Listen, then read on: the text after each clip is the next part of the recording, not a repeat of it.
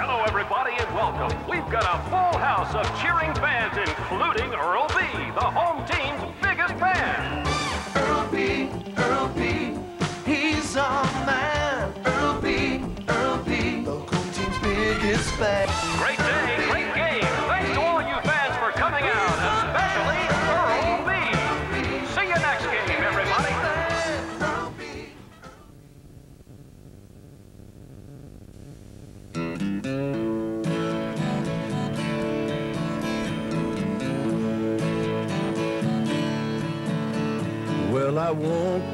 Back down.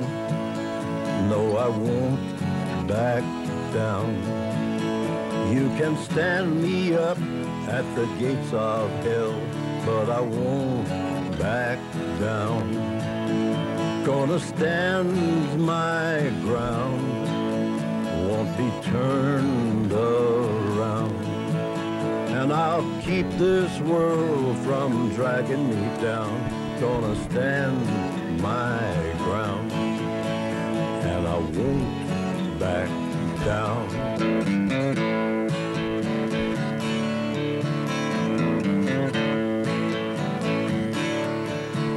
No, I won't back down.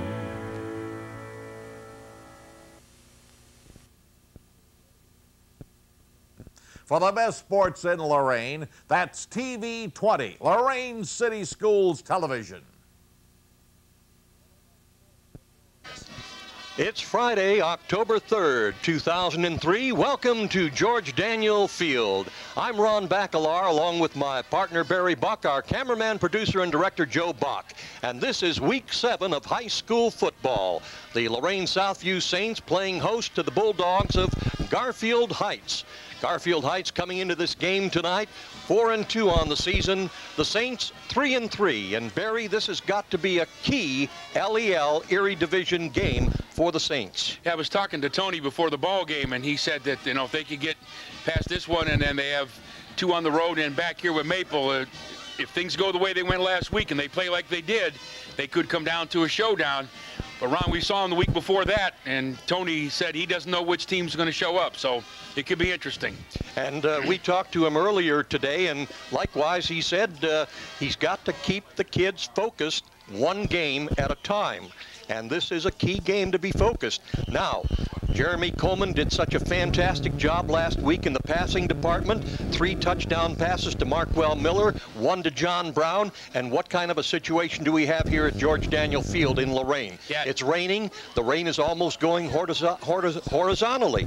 I was talking to Tony uh, before the game. I was out there, and it just started to rain. He goes, "This is the last thing we need, is is, a, is some bad weather, especially with the wind. Not even necessarily the rain, but the wind blowing, and it could blow the ball all over the field."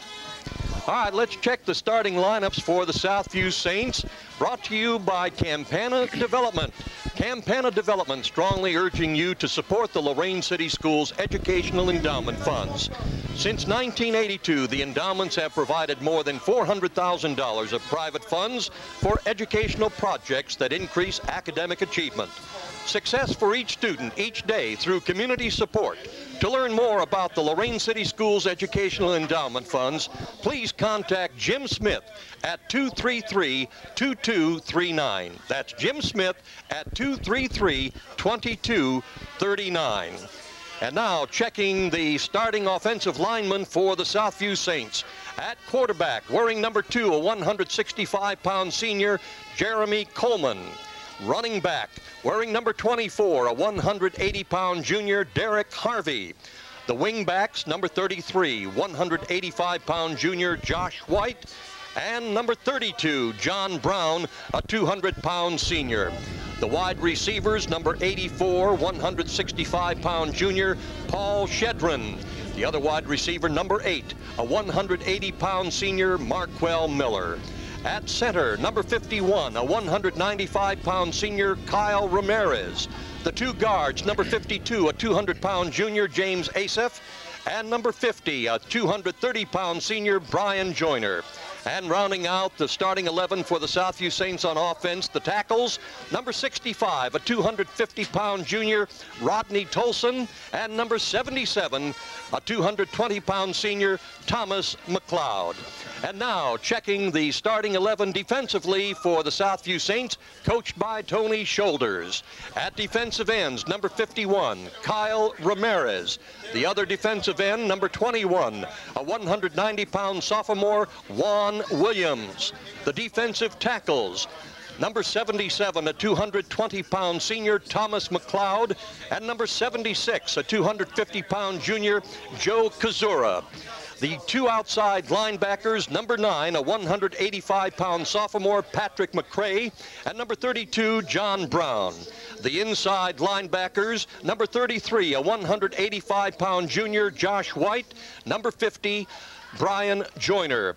The two corners, number two, Jeremy Coleman, and number 20, a 160-pound sophomore, Devin English, and at free safety, number eight, Marquel Miller. The starting lineups brought to you by Campana Development on behalf of Lorain City Schools Endowment Fund.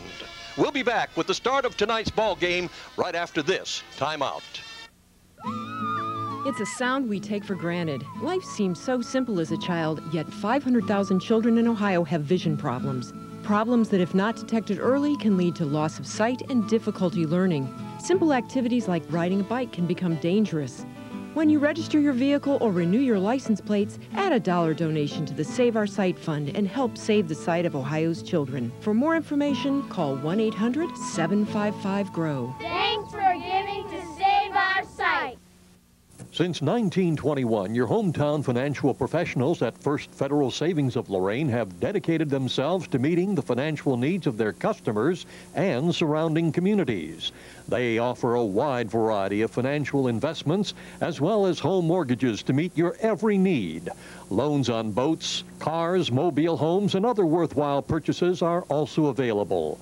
Whatever your financial need, First Federal Savings of Lorain is ready to help. Seven convenient locations to serve you in Lorain, Huron, Sandusky, Port Clinton, and now at 36690 Detroit Road in Avon. First Federal Savings of Lorain is an equal housing lender and FDIC insured. Not quite ready to start the football game yet, but it's quite obvious to you that we've got homecoming here at George Daniel Field, homecoming for Lorain Southview High School. We were promised a list of names uh, of the people in the court, the candidates for the king and the candidates for the queen. We have yet to receive that, but we have something even better than that. Lorain Southview High School's girls basketball coach Coach Mark Feldman is with us, and if anybody knows who these young people are, he certainly does. So, Mark, uh, uh, who do we have out there on that uh, uh, court? I don't know if there's any more people coming. We've got what one, two, three, four couples. Yeah, that, yeah, that should be it. That should be it. All right, so let's go left well, to right. We've got. Well, what, we've got the queen and the king apparently. The, the queen's name is Monica Soto. Okay. The king is uh, Jeremy Coleman. All right. And then next to them was Mo was. Sherelle Millender, plays for me, and uh, she was with Eddie Bowens. And then you had Manny Burgos, I believe, and Christina Jimenez. And the last one was Brittany Ruiz and Brian Joyner. Brian Joyner, big Joyner, yeah. Okay.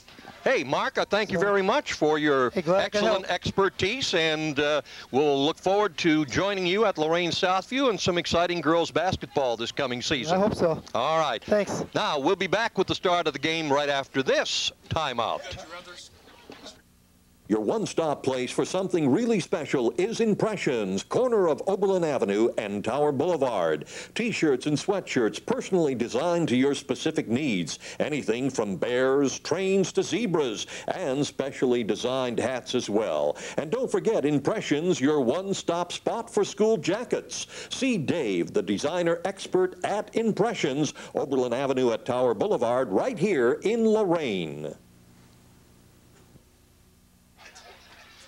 All right, game time here at George Daniel Field on this Friday, October 3rd, and it continues to pour down rain on this Friday night. The Southview Saints won the toss of the coin. They elected to defer. They'll receive at the start of the second half. The Saints will defend the south goal. Kicking off to Garfield Heights. Garfield Heights will receive and defend the north goal. The officials for tonight's ball game, the referee is Tom Cahill. The umpire is Fran Gallagher. The head linesman is Pat Campbell. The line judge is Dave Merrifield. And the back judge is James McGrath. And we're just about ready to get this ball game underway.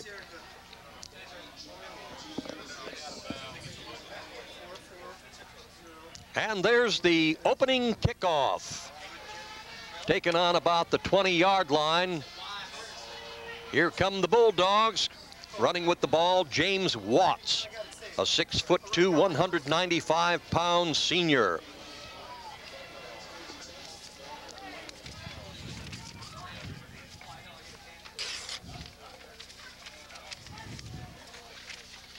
All right, first and 10 for the Garfield Heights Bulldogs. The ball will be on their own 41 yard line.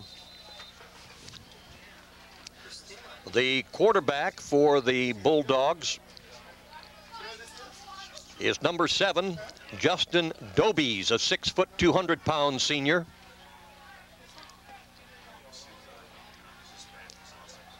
Dobies takes the handoff and gives it off to his running back.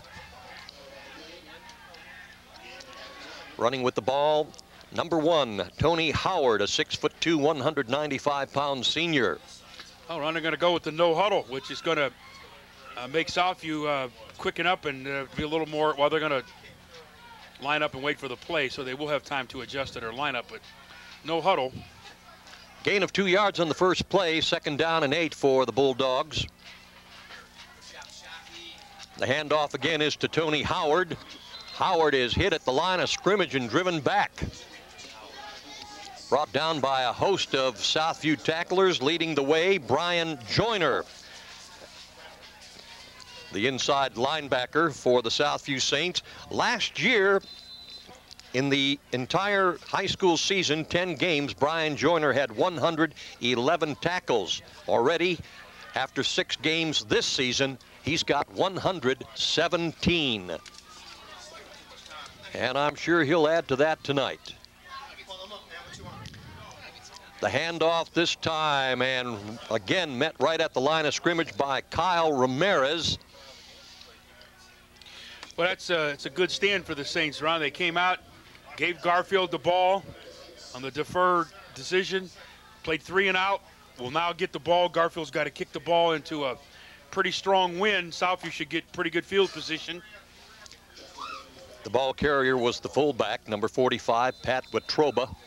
And we, seem a bit hesitant on calling who's who on Garfield Heights. We did not receive any information from the school prior to the start of tonight's ball game.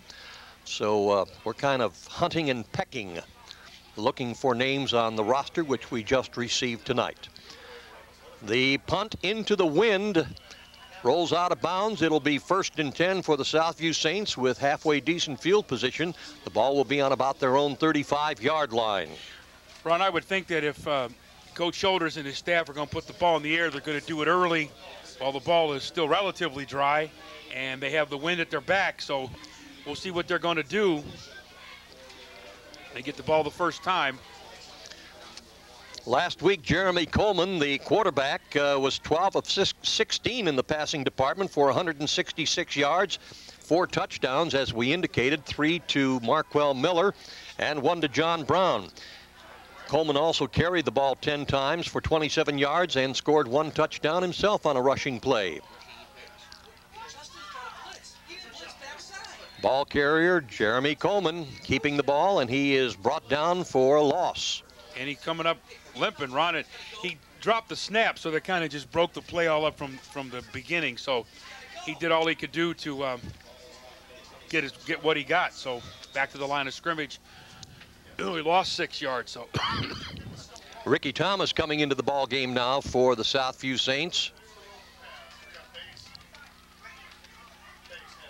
Ron, again, they got Marquel Miller out here on one-on-one -on -one with this defensive back. They just got to put the ball up there. Second down and 18 for the Saints. Just throw it. The give is to Derek Harvey, and he goes nowhere. Tackle made by Dave Evans.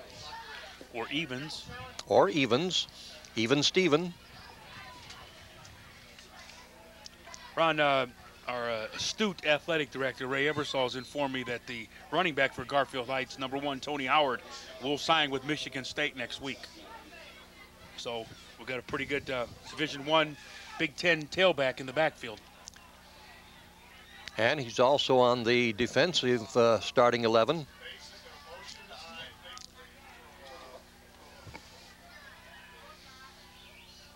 Third and big yardage. Coleman back to pass, being chased, being chased, and on the screenplay, Marquel Miller, but uh, he's going to be hit back on around the 20, 18 or 28 yard line. Ron, that play just was way too deep.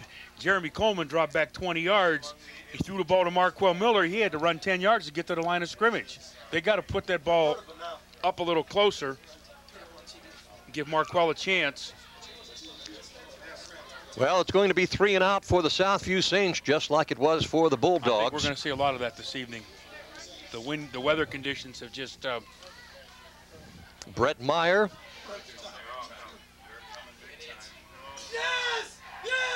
Ah, punt is blocked, and that was by Josh White. It was picked up by James Watts. Garfield Heights with excellent field position now. Ron, that's been Southview's bane all year is the kicking game, and it just haunted him right there from the snap, wobbling a little bit to the punter just taking way too long. Just got to get it off, get it out of there and play defense. Now you're giving him the ball on the 15-yard line.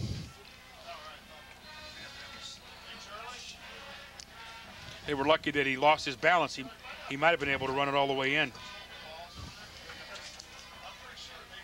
First and 10 for the Bulldogs. The ball is on the Southview 15-yard line, and there's a flag. Yeah, they had too many. And it's going to be against the Bulldogs, illegal substitution. That'll bring them back five yards, first and 15. Ron, that shouldn't happen on a turnover. You should, you know, you shouldn't uh, have to be substituted. You should have your team out there. There might have been 12 in the huddle and then one left. That's usually what comes with an illegal substitution.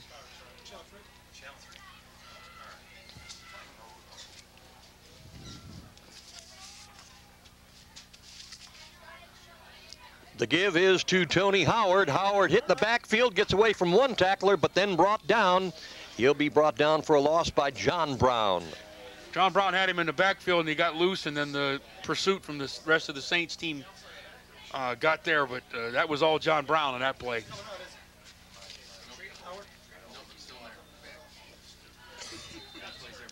Second down and seven, a loss of two yards on the play.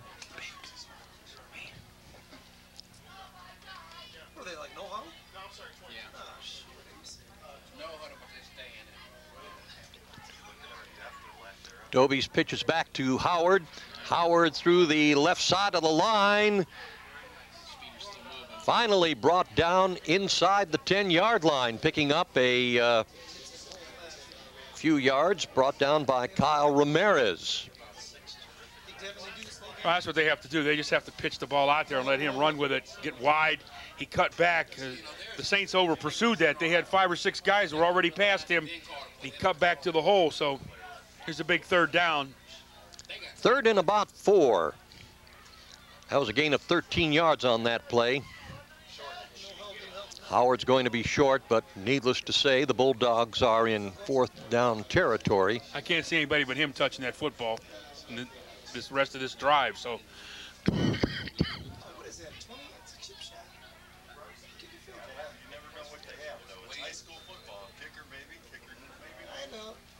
Fourth down, a gain of a yard on the play. Fourth down and three for the Bulldogs. Ron, I would think in normal conditions, we were watching the kicker. He was pretty good. I would think under normal conditions they'd be kicking this ball, but with the wind and the rain, they're just going to try to go for it. If they don't make it, they'll have the Saints pinned deep. Yeah, in pregame practice, he was really booting them from the 40-yard line through the uprights. And the Bulldogs are going to call a timeout. I think what they were trying to do, Ron, is pull Southview offside.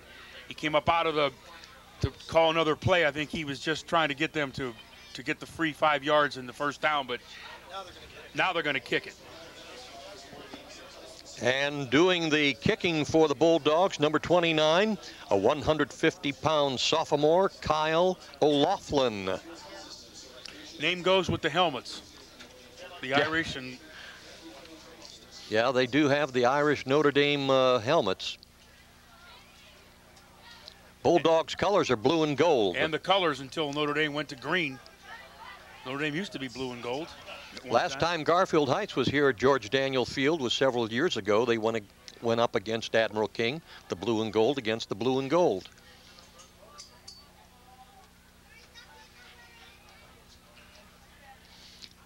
One of the Southview Saints we want to highlight tonight is Alan Waddlebaum. Waddlebaum is a junior. His favorite class is computer. His favorite teacher, Matai, because he enjoys computers and they're easy to use. His mother and father and sister have been the biggest influences in his sports career. Emmitt Smith is his favorite professional sports player. They're going for it, Ron. Oh, they're going to go. Fourth down and three. Power I. Woody would be proud. And the give is to Howard. He's got the room. He's got the room. The five into the end zone. Touchdown. They lined up in a power I to the right and then ran it wide left. I think that play was designed to go inside, and he just bounced it outside. When he turned the corner, it was it was to the house. Well, with five minutes and 27 seconds remaining in the first quarter of play, the Garfield Heights Bulldogs get on the board first.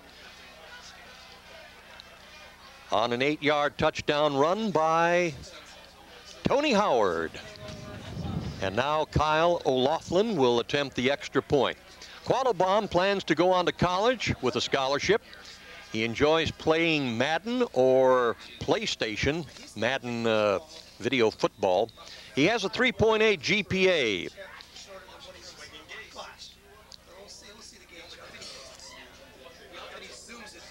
His dad and uncles played football and basketball, so he comes from a sports family. Kick is in the air, and it is good. So the score stands now Garfield Heights 7, Southview nothing.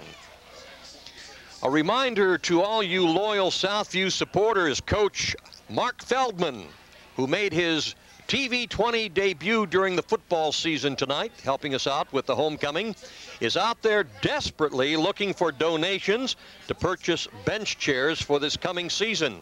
These are the really nice padded chairs with the school logo on the seat and the back. They will be used by the girls basketball program as well as both the volleyball and the wrestling programs. These will definitely enhance the appearance of the gym at Southview and make a solid impression to the public and outside visitors. For the low cost of $50, they can purchase a chair and have the name put on the back or even a message. They need about 35 of these chairs, and so far they've sold about 20. So 15 more still available. If you are a longtime Southview supporter, you need to jump on the bandwagon and become a part of the vision. And wow, do we have a hit there. Mike Kajansky That was a making that time. hit on Markwell Miller. So the Southview Saints will take over now first and 10 from their own 25-yard line. That was the quarterback, Ron. Oh, I'm sorry, Jeremy Coleman. So Okay, Jeremy to see how Coleman. if he comes back from that pretty good shot right now. By the way, uh, checks can be made out to the Southview Booster Club and sent to Coach Feldman at the View. That's Southview, by the way, not the television program.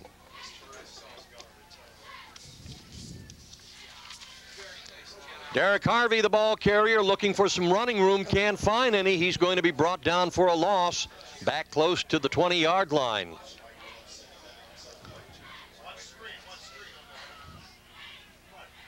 Rain continues to fall here at George Daniel Field, not quite as heavy as it did initially, making the tackle Justin Barois.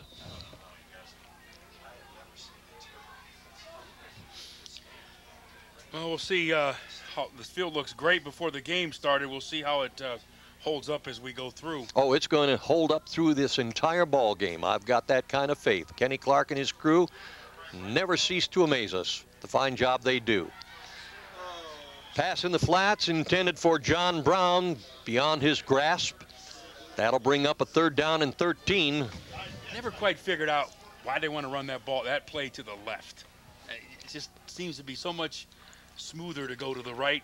Everybody's right-handed oriented, and it's very difficult to throw the ball running away from across your body. So, third down, another big third down for the Saints. Third and 13. They want to get the ball out of this hole. Again, Marquel Miller split wide to the left, down at the bottom of the screen. In motion, John Brown coming to the near side. Jeremy Coleman rolling, rolling, and he's going to be thrown for a loss. Dropped inside the 10, and there's a flag. Could be a face mask. Craig Nicholson on the tackle for the Bulldogs.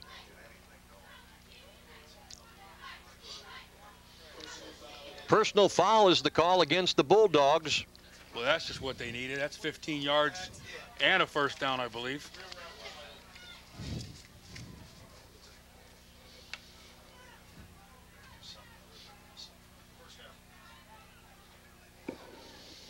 And a reminder, too, to you uh, senior citizens out there, you can get in free to all the regular season athletic events in the Lorain City School System with your Golden Buckeye card. Football games, volleyball games, basketball coming up this uh, winter. So Speaking come of on out. we have a big game Tuesday night. do we not? Absolutely, absolutely. And we're going to be talking about that a little bit later on. So come and join us for all the excitement of high school sports, an evening of exciting sports action.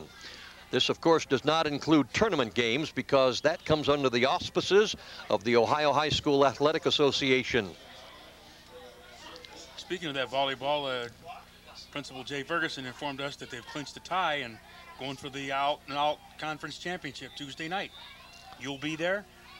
Well, with the TV20 uh, plans on being there. Joe Bach, our producer, director, cameraman, and hopefully, Lord willing, will be there as well as the uh, Lady Saints take on Bedford. Back to punt. Josh White gets off a good oh. punt this time, well over the head of the intended receiver, Mario Butler. And he just lets it roll, and they'll down it on the 16 yard line. First and 10 for the Bulldogs on their own 16. As I said the first time it was blocked, all he had to do was get it off and get it up in the air, and he got all of that one. The record for the Southview Saints volleyball team 17 and 2 and they clinched a tie for the Lake Erie League Erie Division Conference Championship, but they can win it outright this coming Tuesday. And uh, that match will be at Lorain Southview High School. The Lady Saints taking on Bedford, and TV20 will be there. We had not planned to be there initially, but because of the significance of that volleyball match, we'll be there to bring you the exciting play-by-play action of that girls' varsity match, and hopefully the crown going to the Lady Saints. Ron, the uh, Southview statistician let us know that kick was 56 yards, that punt. And a flag. Tony Howard, the ball carrier. That's going to be a hold. Tony Howard up to about the 25 yard line, but I think they're going to be bringing that ball back, as you indicated. It's either uh, hold or a Barry. crackback. He looked right inside, right at the point of the of turning, and I think you're going to see a infraction on Garfield, holding. Holding is the call against the Bulldogs. That'll nullify Tony Howard's run, bringing the ball back.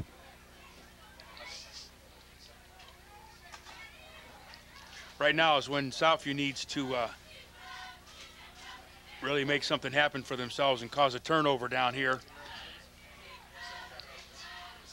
Down will remain the same first, but now it's 20 from about the eight yard line. First and 20 from the eight.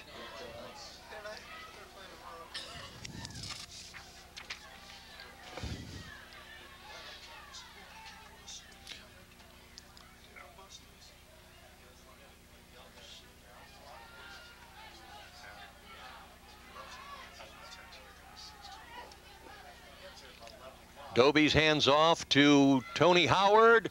Howard through the left side of the line up to about the 20 yard line. Picks up the 10 yards on the penalty plus two more. Tackle made by Marquel Miller. It'll be second down and eight from the 20. 12 yard pickup.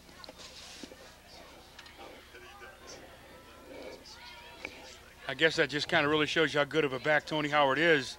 I mean, everyone on that field knows he's going to be carrying the football, and he 12 yards on one run there, getting him back in the game. Six foot two, 195 pounds. Tony Howard. Pitch goes back to Howard again, looking for running room on the right side. picks up a couple of yards just beyond the 20 and tackled by a host of Southview Saints. Around the big game in the county tonight's in Avon. Avon and Wellington. Ton of computer points and the LCC leadership riding on that. Here's the replay.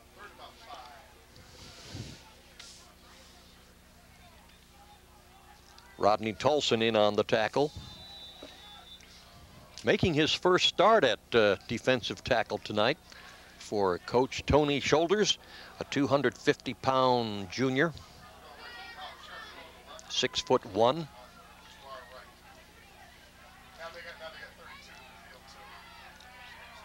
Ball on about the 24 yard line, third and four for the Bulldogs. The give is to Tony Howard, picks up the first down to the 40. He's into Southview territory, gets by Jeremy Coleman, and finally run out of bounds by Markwell Miller. Around the Garfield Heights game, a little different look. They went into the shotgun and then uh, still handed the ball off to Tony Howard, and so they made Southview think that they were going to pass it.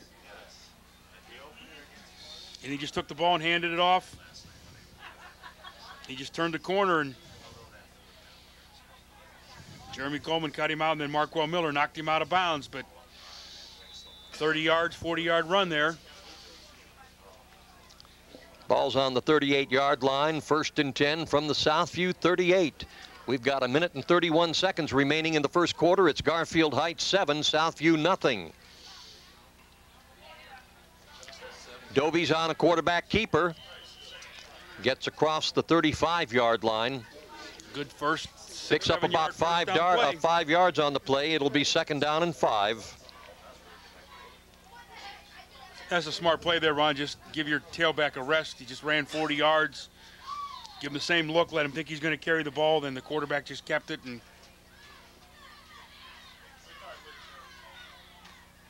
went around the corner. Mario Butler, wide receiver, split wide to the right. The give is to Tony Howard, almost hit in the backfield. Joe Kazura had his hands on him, but uh, he managed to get ahead for a couple of yards. Ron, I got to believe that those wide receivers for Garfield, they could be up here with us. Yeah.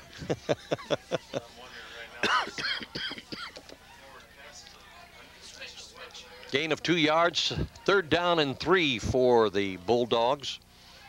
We may see a game without a pass being thrown by the team in white. Clock operator's best friend. Yeah. Let it roll. Again, Tony Howard oh, almost tackled in the backfield by Brian Joyner. But he did manage to move the ball ahead enough for the first down. the referee's letting them know the clock still runs the end of the first quarter. Here we are again. And that is the, the end of the first quarter with the score Garfield Heights 7, Southview nothing. Back in a moment.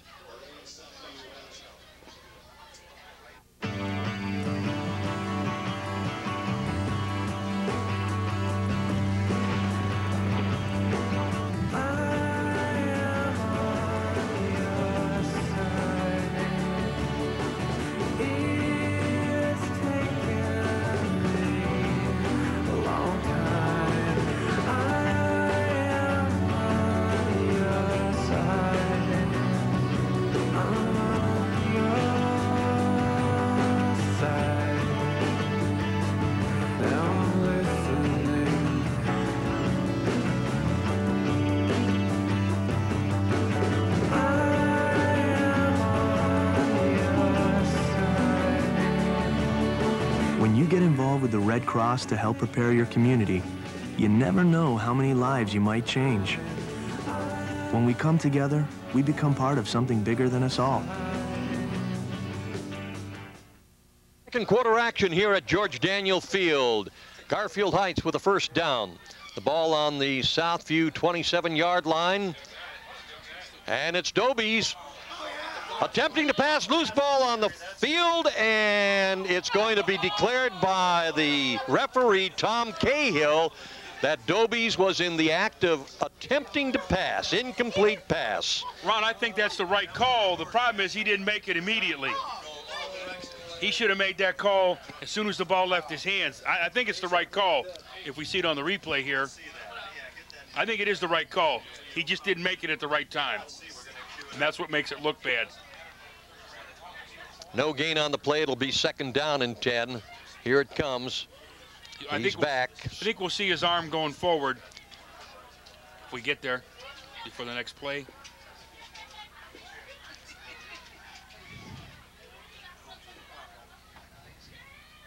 Yeah, his arm's going forward. That was a good call.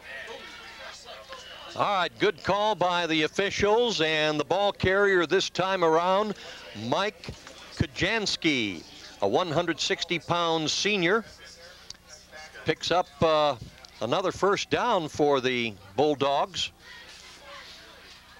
Ball is now on the Southview 17-yard line, Ron, first and 10. I know we got the information late, but that offensive line looks pretty good size. Well, we can- we uh, will take a look at some of the uh, individuals uh, that have been so designated. One of the guards is Jeremy Armstrong. He's 220. The give is to Tony Howard. Howard picks up a couple of yards on the play.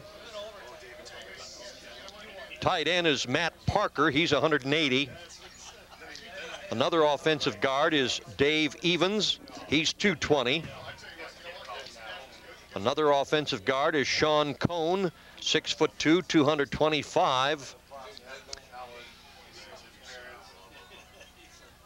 So they're 210 or 220, but the center's 51. Number 51 is Luke Kirkowitz. He's 195 pounds, according to the roster. Again, Tony Howard through the right side of the line, still on his feet, still on his feet. Finally brought down around the five-yard line. Might have I even gotten inside the five. It's going to be first and goal. First and goal for the Bulldogs.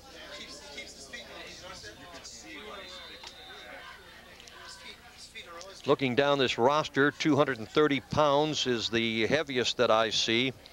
250. At tight end, 88. Andrew Samal, a six foot three junior at 250. There's a 230, a 240, a 245, another 240, 255.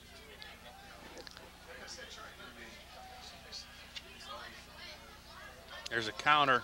Tony Howard. Nice tackle. And he's tripped up in there by Jeremy Coleman. Nice saving tackle. I would have thought he would have tried to get that back outside. But according to the Garfield Heights roster, 255 is the heaviest man that they have on their football team. But he looks like he's an athletic 255. He's a big boy. 6'3", 250. And he's a junior. Yeah. Second and goal, the ball on the three-yard line.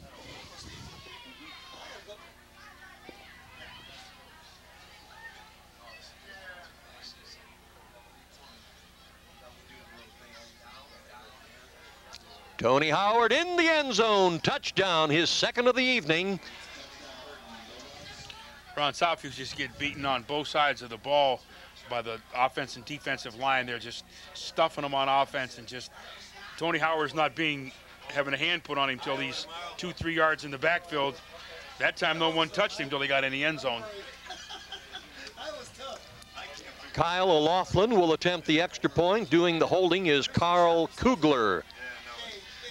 Garfield Heights 4 and 2 on the season. Their two losses coming against Maple Heights and Euclid. Teams in the Lake Division of the Lake Erie League.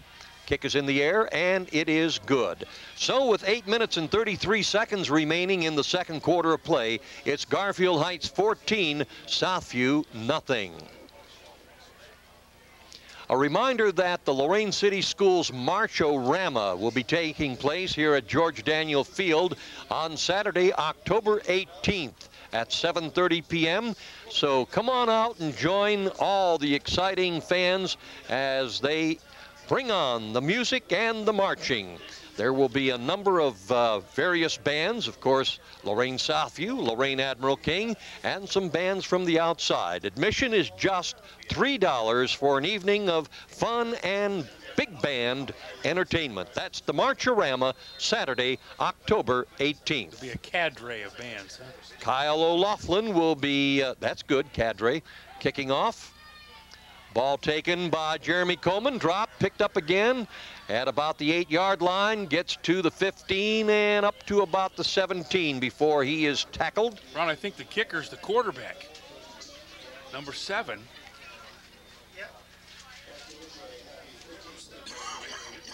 Well, number seven is supposed to be doing the punting, Justin Dobies. Well, unless the kicker, the extra point kicker, is ambidextrous, he kicked the extra point left-footed and kicked that one right-footed. So Well, that must be Dobies then. Those soccer kickers are multi-talented if he happens to be a soccer player. So, but I think it was the kicker, the quarterback that time kicking. From the 18 yard line, first and 10. Derek Harvey, the ball carrier. Maybe a yard on the play.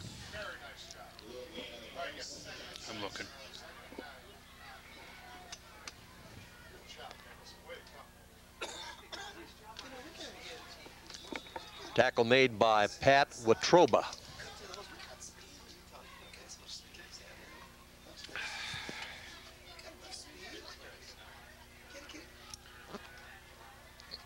Ron, I, I got to believe that Southview's in the negative numbers offensively for this quarter and a, and a half. They got to get something going or they got to mount something. They don't want to give the ball back to him. Jeremy Coleman on the pass play, almost intercepted, but then bounced out of the Garfield Height Bulldogs' hands and right into the hands of John Brown. That's good concentration, Ron. You're right. The Garfield uh, Heights guy should have had that, picked it off. He tipped it, and John Brown stayed with it and brought it down for about a seven-yard gain. So it's third and two. The Saints need this first down. Desperately need this first down.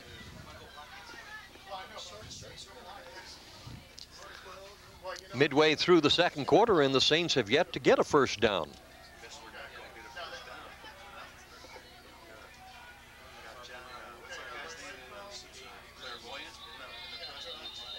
Well, they had it. Usually when he throws a flag, that's a hold. Ball carrier for the Saints, Juan Williams. Oh, we only go Illegal procedure is the call against the Saints. That'll bring it back five yards. That'll make it uh, call, that third and seven. That's a strange. That's a strange call there. You wouldn't think that the, unless you saw a lineman move.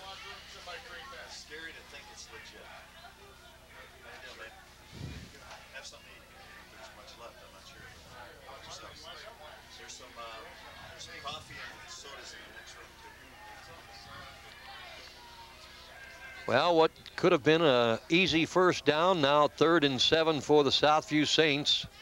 Jeremy Coleman back to pass, being chased, and into the hands of John. Correction on that, into the hands of Josh White, and tackled immediately by Mario Butler. Mario did the smart thing there, Ron. He could have stepped up and tried to pick that off.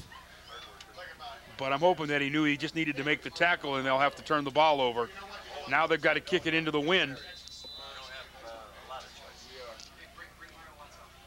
Fourth and five for the Saints, and it's Josh White. Back on about his 11 yard line. He'll be doing the punting. That's a good kick in low Gets it away, lands on the 49, bounces into Bulldog territory, picked up by Mario Butler. Butler on the far side, finally knocked out of bounds, and there's a flag.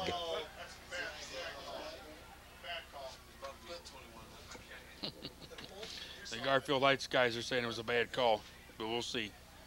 Well, if it's against the Saints, it's a good call from their No, point of view. From, I think it's against them. But I believe it is.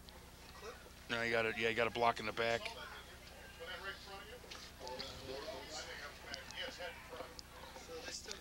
He's got to have more in his head in front, though. Block in the back, and that brings the ball back inside, just inside the 50 yard line, where it's going to be first and 10 for the Bulldogs. See if we can see that block here, Ron. We've got the replay. Uh, we couldn't see it, but It he threw happened back further. Yeah, he threw it back here, so. Somebody's called timeout. All right, we have a timeout on the field with the score Garfield Heights 14, Southview nothing. 5:42 remaining in the second quarter. Back after this. CiCi's Pizza. All you can eat for only $3.99. CiCi's Buffet has 16 kinds of great tasting pizza, pasta, salad, and desserts, all you can eat for only $3.99. And CiCi's was voted number one for overall customer satisfaction. The Best buffet that you can find. Lunch and dinner anytime. Let's go to CiCi's Pizza. Great taste at a great price.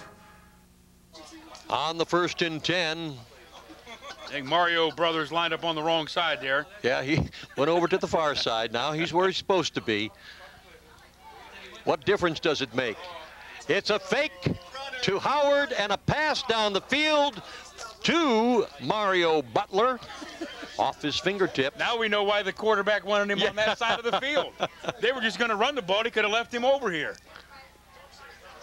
Covering back there for the Saints, Marquel Miller along with Jeremy Coleman and Devin English. There's a case, Ron, where he was he was behind the defenders. Uh, the quarterback's got to put a little air under that, put it up there where he threw a he threw a rocket and uh, just went right through his hands. He's got to put it up in the air where he can uh, soft catch it. And the Bulldogs do have the wind at their back. Second and 10. Dobies hands off this time to Howard. Howard with about a pickup of two yards.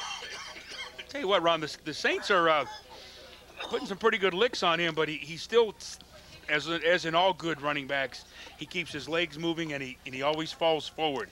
He's kind of reminded me of, of Raymond when he played for Admiral King. And you may hit him, but he's going to get the extra two yards because he's always going to fall forward. And he's not quite as big as Raymond was, but he kind of reminds me of Raymond because he, his leg, and he's always turning and spinning, and he's a good back. He's the best we've seen this year.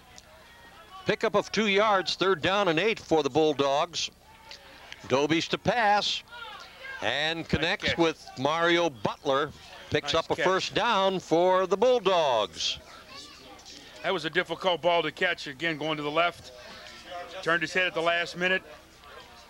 Picked it up. I tell you what, wrong with a quarterback like that. I'm just wondering why the ball's not in the air more often.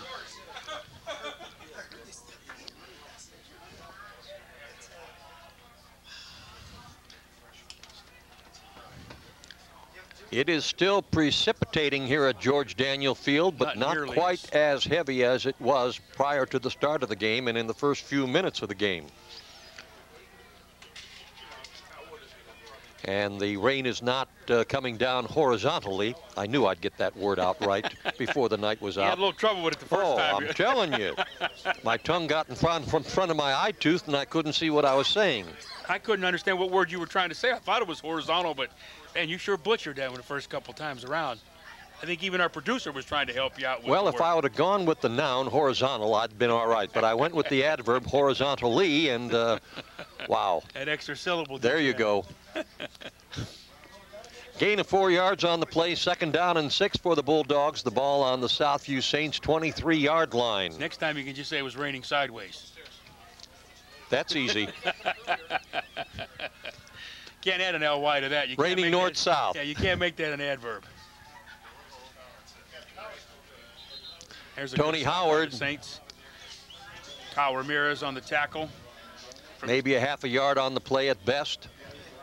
Third down and five for the Bulldogs. You know, Ron, you see that defensive end crashing down that hard, and Ramirez came down and filled the hole. Scouts may pick that up, or the coaches up here, and next thing you know, they're going to run a reverse the other way.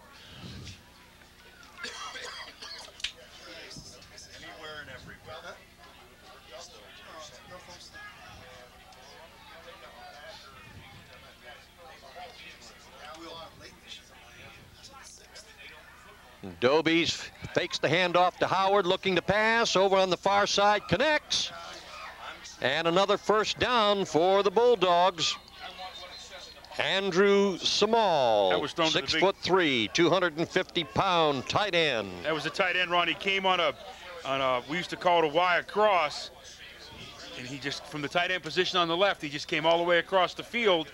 They faked it to Tony Howard, which froze the linebackers. And then uh, Dobies was able to wait for him to clear Southview's linebackers and hit him in the secondary for a first down. Ball on the 19 yard line, first and 10. Ron, it'll be real difficult for Southview to come back from three scores if, if they give up one here. They, they they need a big stop right here with two minutes left.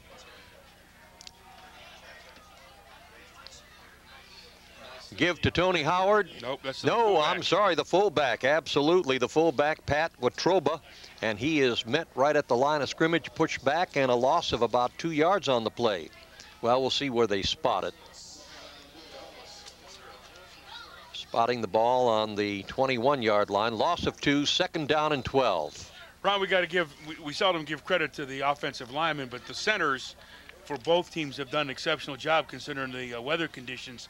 The snaps seem to be there, and uh, plays are run as they're, as they're designed to. So hats off to the centers and to the officials for who keep the ball dry or try to. This time the handoff is to Tony Howard. Breaks through the line. Finally brought down inside the 10 yard line. Ron, if we He'll be shy of the first down. They put the tight, the tight end, he was actually a wingback, 88 in motion, uh, 6'3", 2'8", 250, and we'll see him block. He just kicks his kid out, and Tony Howard just runs right behind him and is into the secondary before they can do anything, and Garfield's called a timeout with a minute left. All right, we do have a timeout on the field with one minute and seven seconds remaining, and Garfield Heights leading by a score of 14 to nothing. We indicated that Garfield Heights uh, is four and two on the season, losing to Maple Heights and Euclid, two teams in the Lake Division of the Lake Erie League. Garfield Heights in the Erie Division, along with Southview. Their four wins came against Akron North, Cleveland South, Columbus West, and if they only would have had an East, team, yeah. but it was Geneva. That's East. well, it's East, yeah, but I'm talking about having East. Ron, I, I according to Tony Shoulders, they were 4 and 0. And they lost. He said they lost their last two, so they started out pretty good. And don't forget, uh, you Southview uh, loyal s- fans, make out those checks. $50 will buy you a chair. Well, you won't be able to sit in it, but the girls' basketball team members will, and the wrestlers and the volleyball players will. But you'll have your name on the back. And uh, you'll have the honor of knowing that that chair is making some young athlete comfortable.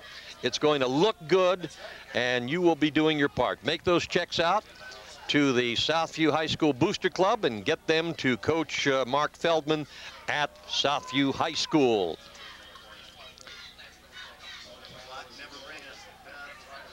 Tony Howard again, the ball carrier. The ball spotted uh, just over the five yard line. That makes it first and goal for the Bulldogs. I don't know if they have enough time, Ron, to run three plays, so they're going to have to hurry and or put the ball in the air on one of these. They should have some timeouts remaining. Tony Howard, the ball carrier, inside the five. See again, Ron, he was hit on the five and and carried it into forward to the three. So And the Bulldogs call a timeout with 35 seconds remaining in the first half. It'll be second and goal. and John Brown on the bottom of that pile.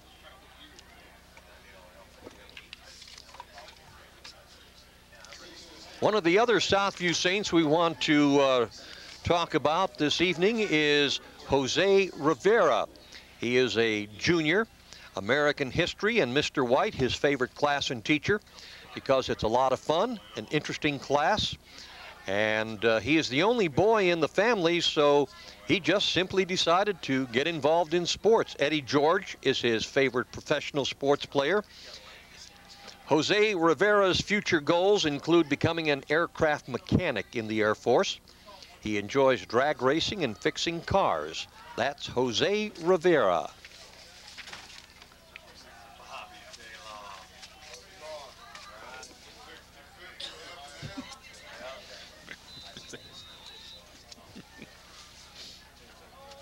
Uh, we'll see if they're going to run it or throw it here, Ron. They've got They got 35 seconds. I don't know if they have any more timeouts remaining. A fake give to Tony Howard, a pass into the end zone, and incomplete. that was the John Brown covering on the play, and the big uh, tight end. tight end, Andrew Samal, the intended receiver. that, That, was of the course, wide cross with the. Um, oh, he's going to kick the field goal on third down. Maybe, no, he's got all wide receivers in the ball game. Got 29 seconds remaining.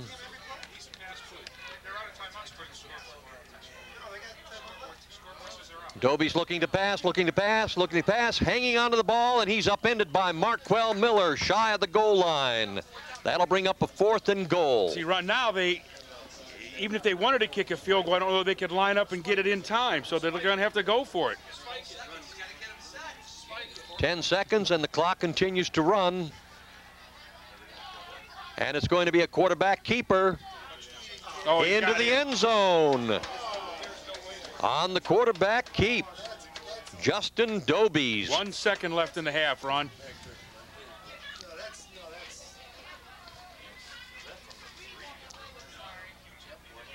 Yep, that was from three yards out. He just lined up and fell forward.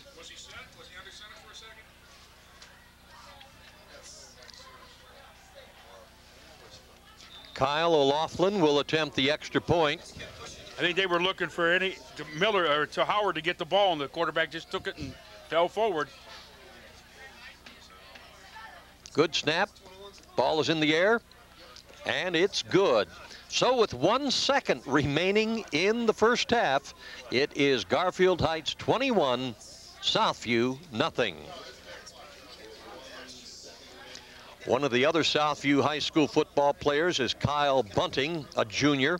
American history is also his favorite class. Uh, Dan Turnus has influenced him greatly in his sports career. He must be a wrestler. Must be. He enjoys video games and riding dirt bikes. And his future goals is to make it in the United States Marine Corps. See his favorite player is Brian Urlacher.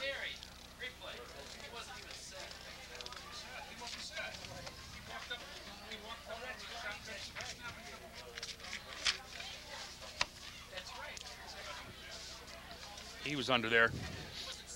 Doesn't have to be. Josh White, another Southview player. He does the kicking off or the punting. An 11th grader. His favorite class is computer. His whole family has influenced him in sports. Brian Urlacher is also his favorite professional player. His future goal is to play football, and football is his hobby and his interest.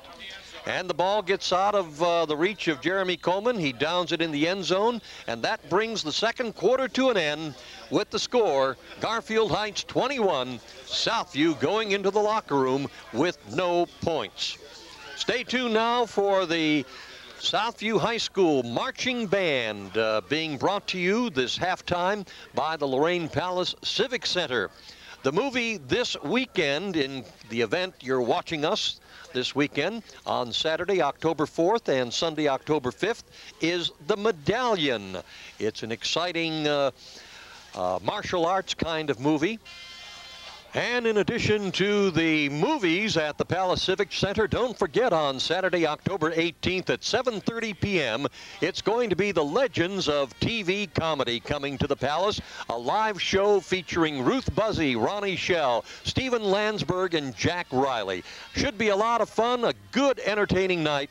Tickets are $38, 35, and 30 Contact the Palace Civic Center for further information and get on down for good, exciting fun. That's the Palace Civic Center. And now, stay tuned for the Lorain Southview High School Varsity Marching Band.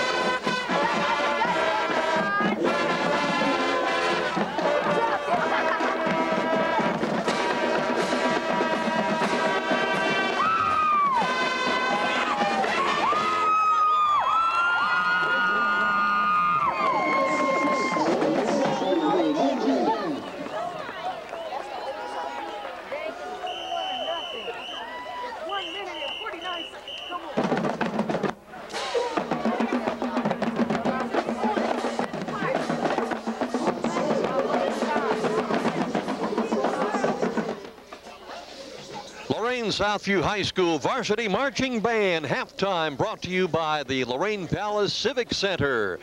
A reminder that on Saturday, October 11th at 2.30 and at 7.30 at the Palace Civic Center, the Sweet Adelines, the International Lake Ridge Chorus. A lot of good music coming your way.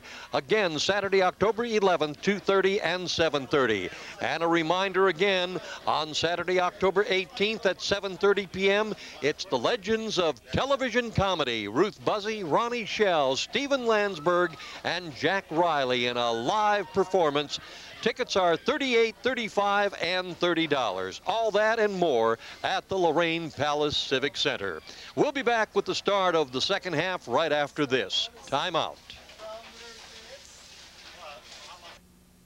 Your one-stop place for something really special is Impressions, corner of Oberlin Avenue and Tower Boulevard. T-shirts and sweatshirts personally designed to your specific needs. Anything from bears, trains to zebras, and specially designed hats as well. And don't forget Impressions, your one-stop spot for school jackets. See Dave, the designer expert at Impressions, Oberlin Avenue at Tower Boulevard, right here in Lorain.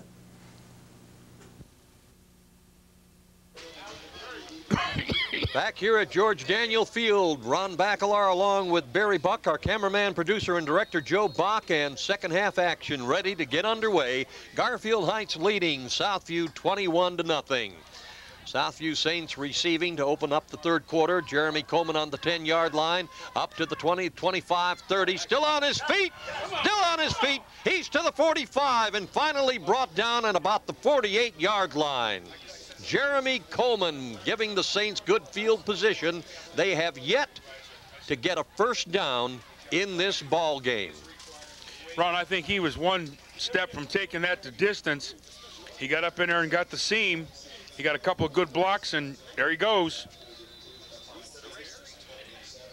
33 yard, 33 yard kickoff return for Jeremy Coleman from the 10 to the 43. I think he's on the 47, run. 47, you're right. 35 for 38 yard kickoff return.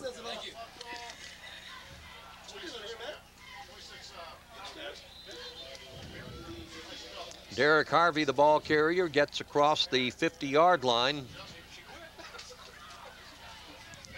Gain of two yards on the play, second down and eight.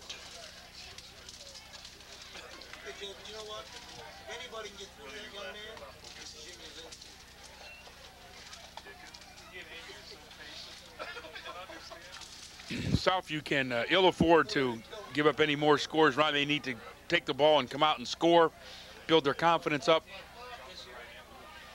Play a little D, look out. Jeremy Coleman looking to pass. He's being chased and brought down for a loss back on the 45 yard line. Ron, he did he did all he the best he could do was to pull that ball down as about he was about ready to throw it.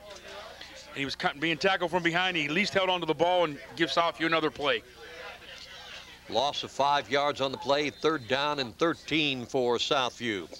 Southview's left tackle, Rodney Tolson, a junior. His favorite class is junior ROTC. His favorite instructor is Major Brown. The class has everything that he enjoys and needs. His brother has been his biggest influence. All football players are his favorite professional athletes. He intends to go to college, and football is his hobby and interest. John Brown gets the shuffle pass, and there's a flag. John Brown breaking in the clear, but hold the phone. We'll That's see what the flag. there.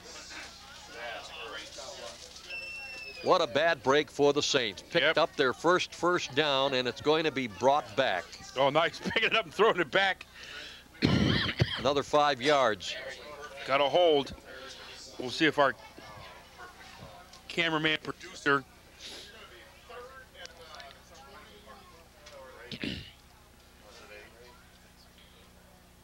can pick that up on the replay. Holding is the call, 10 yards being marched off. That brings the ball back to the 40, 41 and a half yard line. I didn't see it, but it doesn't mean that it didn't happen. So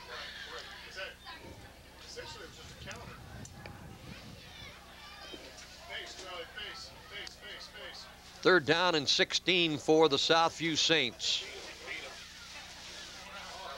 Jeremy Coleman back to pass, back to pass, and he's going to be brought down for a substantial loss, making the big hit for the Garfield Heights Bulldogs. Jeremy Armstrong. 220 pound senior, six foot. Fourth down, back on the 30 yard line. Ryan, again, they had uh, Marquel Miller here at the bottom of the screen, one on one. I would think that sometime, brother, he's got to try to throw it up there and, and hope that he can get it.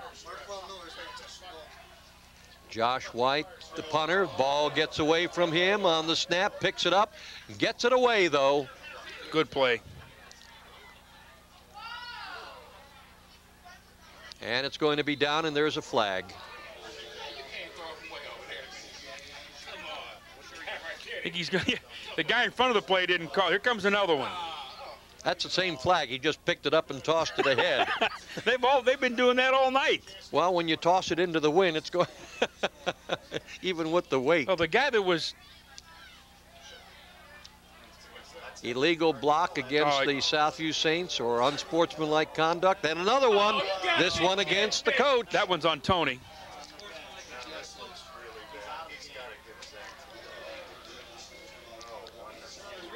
I think Tony's argument, Ron, is the guy that was standing right there didn't call it, and that flag came from 30 yards away. Yes, it did.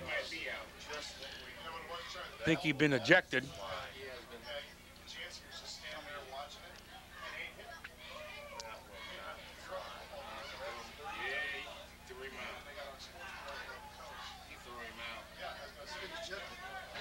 Oh, that's horrible. We don't know what he said. We can't say that it's horrible. Yeah, how can you throw him out? How can you say it's horrible, Devin, when you don't know what occurred? Now, uh, since Tony Shoulders has been uh, apparently, I don't know, he's still out on the field. I don't think he ejected him. Okay. Anyway, it's first and 10 for the Bulldogs. They're deep in Southview territory. Tony Howard, the ball carrier. Ron, I do know if a coach gets ejected, I know in basketball, he's out two games or seven days, whichever's longer. So if a coach gets ejected in football, I would assume that he's out at least this one and the next one. Ball is on the 14-yard line. There's a- five, second down and five. There's a case, Ron, where, where bad just goes after bad. The, the play's right in front of the guy. He doesn't throw the flag. It comes from 30 yards away. I would think the coach has a right to, to object to that without getting another penalty. But again, you don't know what he said. But that's just bad chasing bad there. That was a bad call.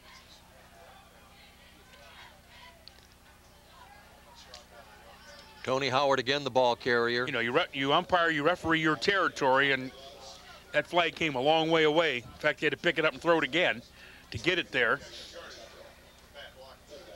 So you, you just got John Brown for pushing that kid in the back. He, this guy's standing right there looking at it. Now you'll see the flag come from. I didn't see anything wrong with, with the play that he called. The ball had not been blown dead yet. Third down and three for the Bulldogs. Ball is on the 12-yard line. Pitch comes back to Tony Howard. He drops it. Loose ball, but I do believe Howard was able. No, they say Southview has recovered the loose ball. There's a case, Ron, where he was running before he had the ball. He he was looking to see what was ahead of him, and he just took his eye off the ball for a minute.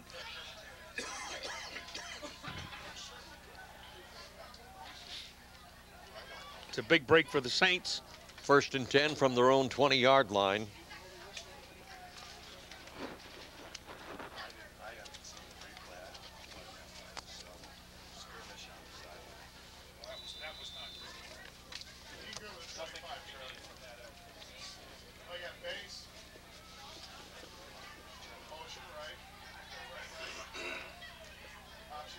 Jeremy Coleman pitching to Derek Harvey. Loose ball, and Harvey covers it.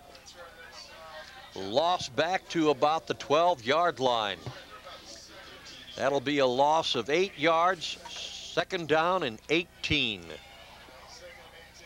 Southview's offense is really, really, really struggling tonight, Ron. And I, I know the weather's got a lot to do with it, but they're just having a lot of trouble. I think Garfield Heights is just beating them off the ball and destroying things before they even get started. Their offense kind of reminds me the way, the way they're playing, the way we feel. Yes. Even though we had a free weekend last uh, last Friday, uh, boy, these colds are just not going away. Pass to Ricky Thomas, complete.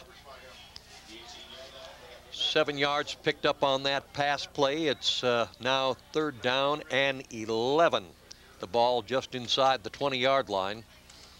Yeah, two weeks ago we uh, sat here at George Daniel Field. You were hacking, I was hacking. Our producer, director, cameraman Joe Bach was hacking, and In fact, they were calling us uh, something other than the Killer Bees. Dude. the killer hackers. We're going to have a difficult time picking the CiCi player of the game tonight, Ron. I do believe you're right. Fumble in the backfield.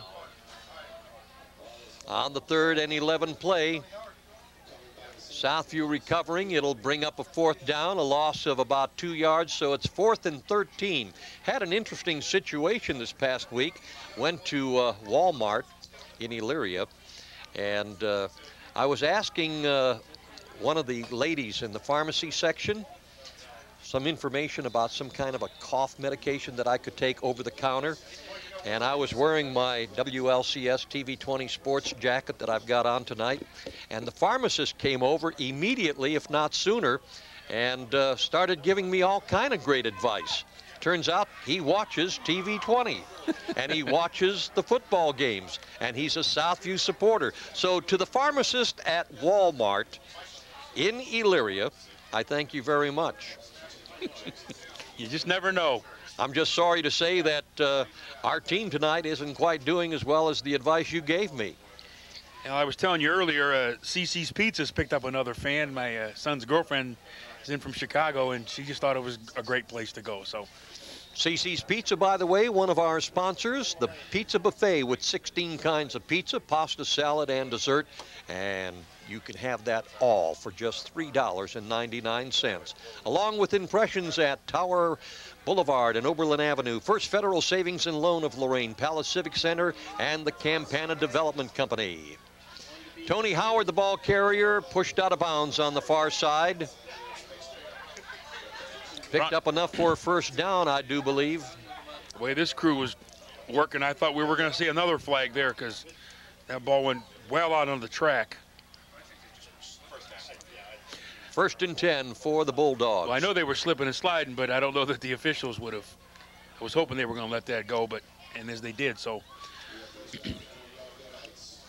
And like you indicated, uh, it's not going to be an easy task tonight to pick the CiCi player of the uh, of the game. we may give it to Joe just for showing up and doing the game and getting everything organized. Fake handoff. Dobies back to pass and connects. Hits his wide receiver, Mario Butler. Ron, there wasn't a Southview Saint within 10 yards of that play. You'll see that it's a great ball fake. He stops, he freezes, and he just throws a rope wide open. Pass play from Dobies to Butler, picking up another first down for Garfield Heights. The ball is on the 11-yard line. First and 10. Four minutes, 28 seconds. Clock continues to run here in the third quarter. 21 nothing. Garfield Heights leading. Southview yet to pick up a first down in this ball game.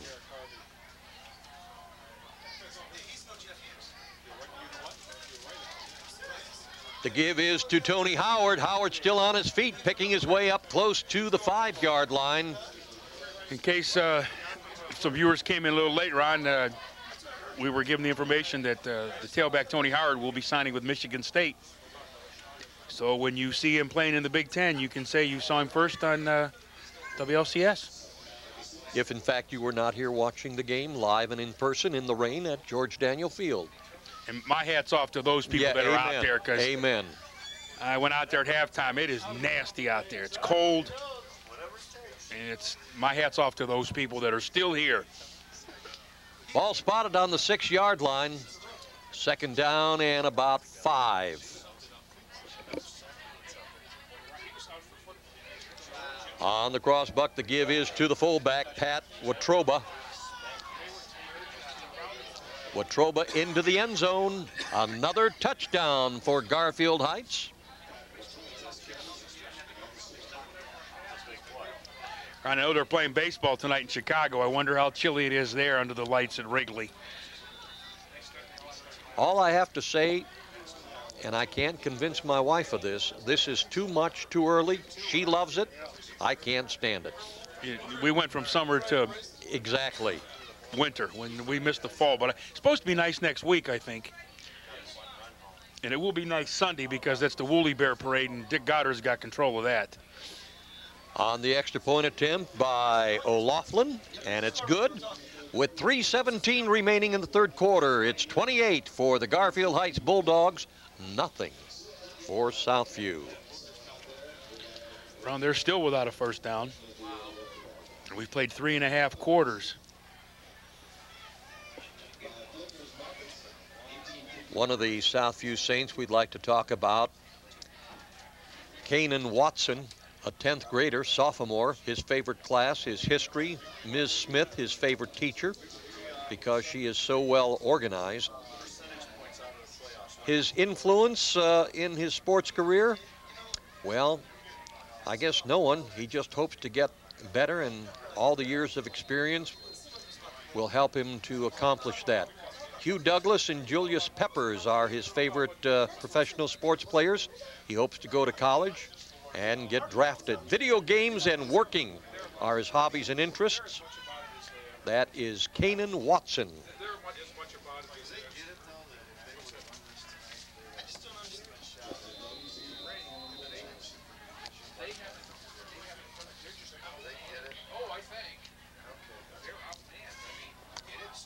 Quarterback Justin Dobies kicking off for the Bulldogs.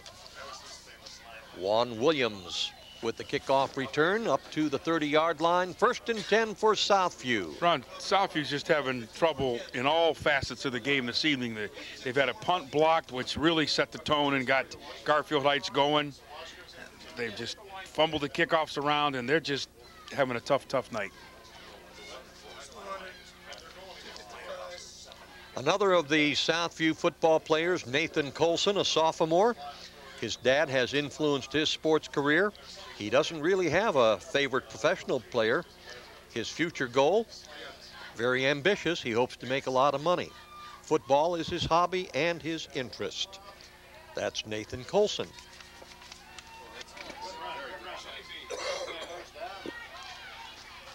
John Brown, the ball carrier, and we have our first Southview first down. And no flags. And no flags at 3.02 here in the third quarter. 3.02 remaining. It was a nice counter. Garfield's just been pursuing the ball, and they just countered it to, to the left, and uh, John Brown got a nice run out of that.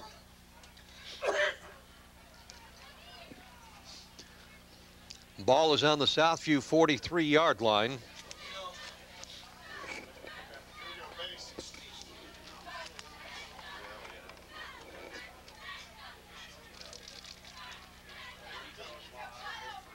Oh, look out. Jeremy Coleman losing the ball, but I do believe he was able to grab it as he was in the grasp of uh, Craig Nicholson.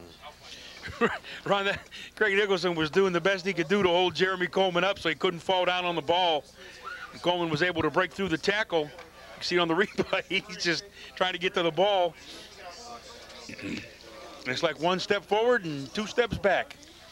Well, the Bulldogs giveth and the Bulldogs taketh away. Ball is back on the 34 yard line. Loss of nine yards on the play, second down and 19. Jeremy Coleman pitching to Derek Harvey. Harvey to the 35, hit, dropped down on about the 38-yard line. Tackle made by Walt Dunning. I got to give Southview credit, Ron. Even though the rain and the wet and the cold, they're they're running options. They're throwing the ball or trying to throw it, and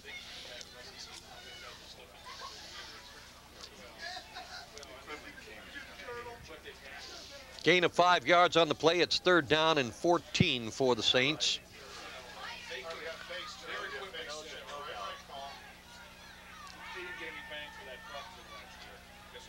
And they weren't hyper till September rolled around. I saw. Not Coleman looking to pass, being chased in the backfield, can't get away. He's going to be thrown for a loss. That'll bring up a fourth down and a punting situation. he's been running for his life. Uh, must be a quiet night, Ron. I see Officer Emilio Morales down on the track harassing the cheerleaders.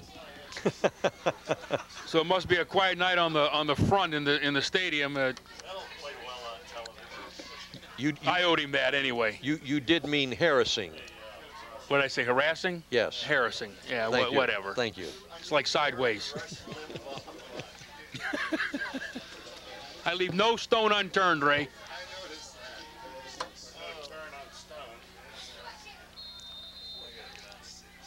Josh White standing on about his 20-yard line. He'll get the snap from center. Last time it got away from him. Snap is good. And he's got the foot to the ball. That's a nice kick Taken and dropped into the at wind. the 40-yard line by Mario Butler. So the Garfield Heights Bulldogs will take over first and 10 from their own 40. Again, we would like to salute the Southview Saints volleyball team. Seniors Sarah Atkins, Brittany Ruiz, LaShondra McClin, Vanessa Ruiz, and Yashira Radimer. Uh, they will be playing for the Lake Erie League Erie Division Championship this coming Tuesday at Southview against Bedford. Right now, they are assured of a conference title tie, but they want to win it outright.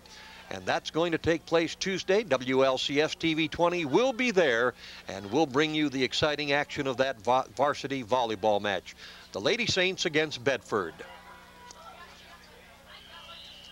Tony Howard, the ball carrier, gets up to the 45-yard line, a gain of five. It's going to be second down and five. And that's the end of the third quarter of play with the score Garfield Heights 28, Lorain Southview nothing. We'll be back right after this.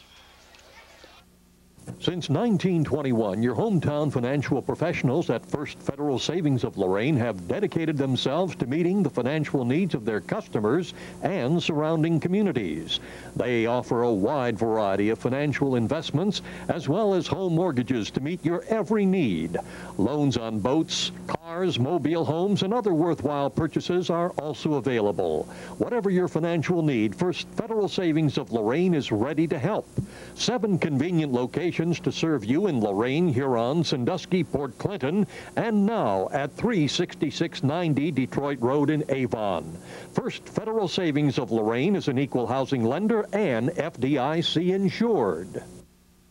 Was in another lifetime, one of toil and blood.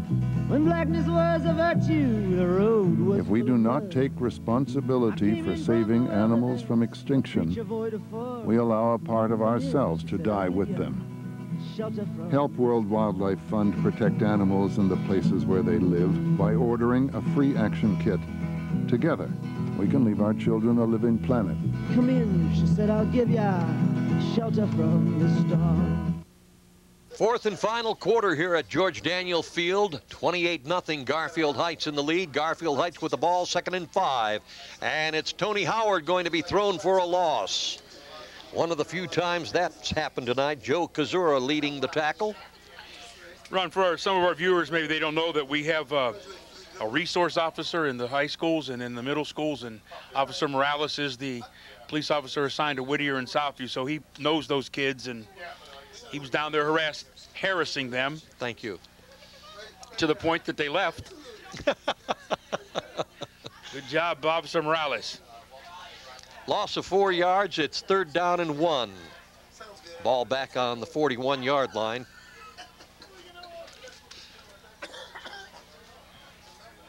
Fake give to Howard. Dobies looking to pass. Over on the far side, the intended receiver Mario Butler incomplete. That'll bring up a fourth down. Ron, our reliable uh, statistician, Mr. Devin over here, has informed me that uh, Tony Howard has 160 yards. Not bad through for a Friday quarters.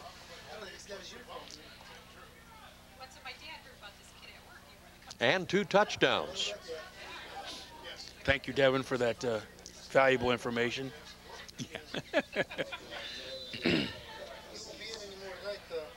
Quarterback Justin Dobies will be punting. He's standing back on his 26-yard line. Gets the punt away, almost blocked there by Patrick McCray. And it's going to be down by the Bulldogs, first and 10 for the Southview Saints, back around their 20-yard line. Ron, I wonder if uh, Justin Dobies uh, drove the bus down here. He's Doing everything else, isn't he? he's kicking, he's punting, he's throwing, he holds for the extra points. Uh, young man's done it all. Well, I've got to correct you on that. Carl Googler does the holding on the extra points. I stand 17. corrected. 17. Well, I Yeah, was well- missing a number.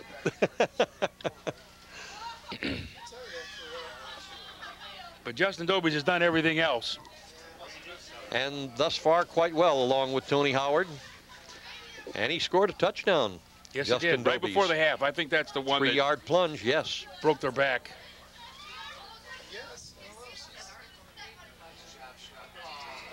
John Brown to the 20. John Brown gets up to about the 25-yard line.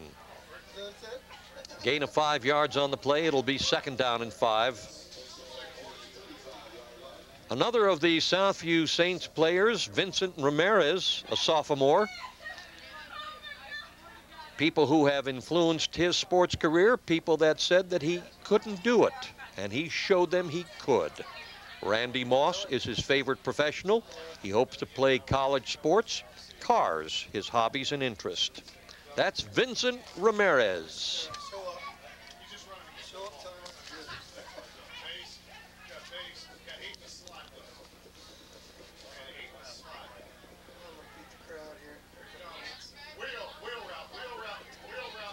On the second and five, Coleman looking to pass, lets it go, and in and out of the hands of Ricky Thomas. Covering on the play, Brad Paramore. Again, again, Ron, at this point in the game, the ball's getting probably weighing about seven pounds and uh, getting a little difficult to, to catch. And that ball went right through Ricky Thomas's hands. It's raining horizontally again. Racy Perez, another Southview football player, a sophomore, science his favorite class because it's interesting. His cousins have influenced his sports career. He hopes to become an Air Force pilot. His interest and hobby, relaxing. I can identify with that. Loose ball. Derek Harvey hopefully recovered that over on the far side. And that'll bring up a fourth down in a punting situation. Pat Watroba. Well, he made he made that play possible. Ron, he had a hold of Jeremy Coleman as he was getting ready to option the ball and pitch it, and he pulled him off the off his balance and off stride and caused him to pitch pitch it wide, and the Saints were lucky to recover it. Failing to pick up a first down on this possession, fourth and 11. Josh White will be punting, standing back on his 15-yard line. High snap, brought down, good kick. Hits on the 31-yard line, takes a Southview bounce, and will be down back inside the 20 at about the 18-yard line. First and 10 for the Bulldogs. Ron, there's a little show of sportsmanship there. Uh, the Garfield Heights just didn't come after that punt, just kind of stood there and blocked, let him kick it and downed it and line up and play. And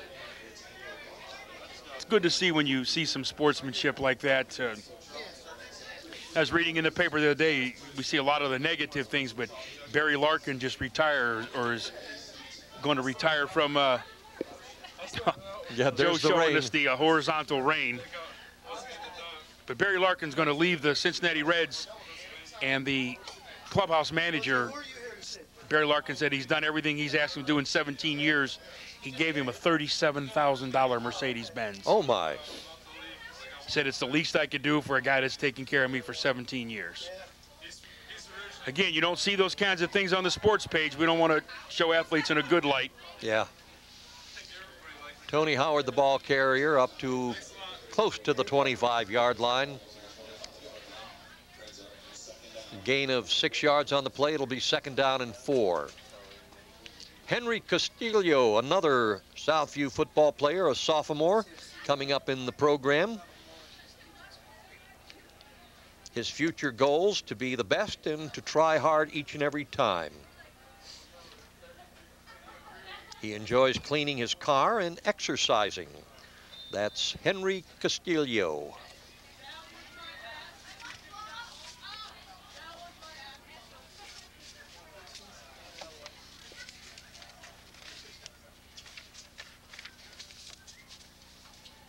Here's a counter. And the ball flag. carrier is Mike Kajansky. Mike Kajansky is a 160-pound senior. Here again with all the rain, and the rain started before the start of the ball game, Barry. And as we indicated two weeks ago, look at the white jerseys on the Garfield Heights Yes. Bulldogs. They're still white. That's uh, again a tribute to Kenny the Clark and the crew. his boys and Ray and the whole game that uh, provide the uh, services here. And that's why you'll be seeing a, a playoff game here probably at the end of the season because they know they can come here and there'll still be grass here. and once again, we need to thank Ray for the goodies that we had. There was Well, we thank Ray Ebersol for the pizza. the Shaker Heights staff thanks Ray anyway. Yeah. and we also thank Scorchers at 9th and Broadway here in Lorain for the chicken wings. You like chicken wings, you want to go to Scorchers. And we thank Tops Supermarket in the center of Sheffield. Tony Howard, the ball carrier. Now I begin to wonder why, with seven minutes left, do you have your number one tailback still running the football, risking injury and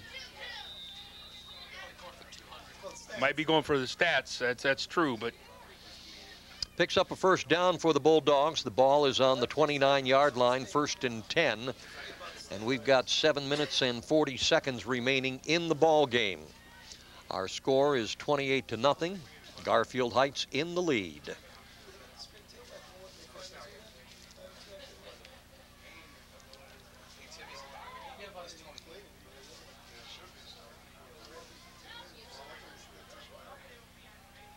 Again, Tony Howard, the ball carrier. A flag on the play. Trainer had him in the backfield again, and he broke the tackle and gained nine yards, but it's all coming back.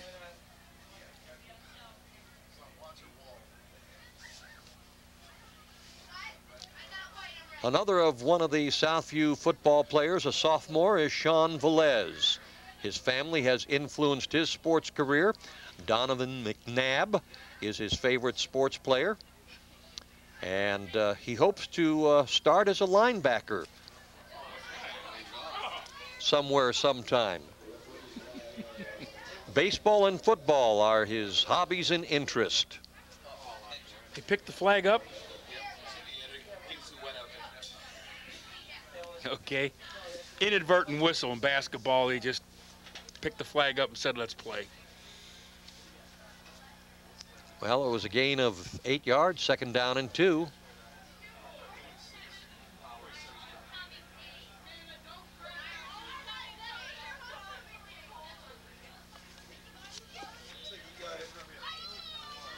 Should be a first down for the Bulldogs. Ron, I was watching a game last week. I can't remember it was college or pro, and they must have been pro because they called a threw a flag and called a hold on someone, and the coaches I don't even have that number on my roster.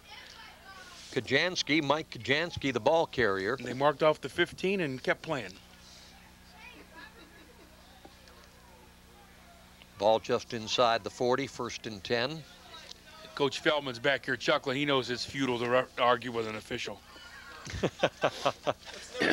but they do it anyway, don't they? I don't know how that guy that- that guy didn't make a mistake. There had to be something wrong. They just switched numbers on him real quick, but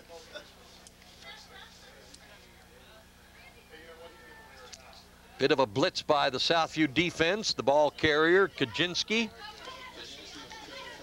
Kajansky gets the ball up to about the 43-yard line. And I think Garfield Heights is going to be very content just to run that clock. And I see the officials called a couple of guys together and doing some preventive officiating. Pickup of three yards, second down and seven. Michael Robinson, another sophomore Southview High School football player. Mr. White is his favorite teacher. His future goals to play professional sports. That's Michael Robinson. Well, Ron, at least we went seven weeks into the season before we had a bad night. We've had perfect weather for the first six weeks, unlike last year. Kajansky again the ball carrier. Up to about the 46 yard line where it's going to be third down and four.